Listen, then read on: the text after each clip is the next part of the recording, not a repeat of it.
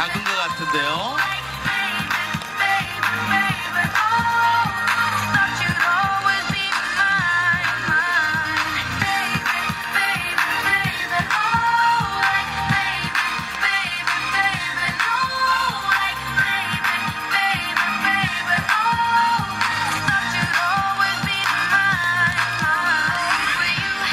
자 이번에는 마술사를 도와주실 분이 한 분 필요한데요 마술사를 도와주실 분 있나요?